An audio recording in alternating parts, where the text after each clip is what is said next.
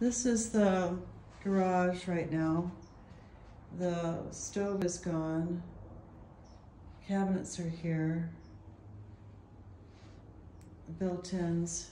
This wall is in pretty bad shape. The window's open because you can smell gas in here. There's a pull down.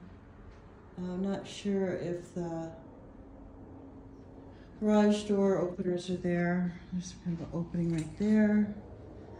Then there's a bathroom here. There's no light in here. This is in pretty bad shape. Um, shower, toilet,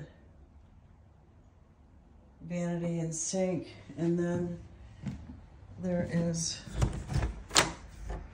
the water heater, which is not strapped properly. And supposedly up in the inspection report, it had some damage there.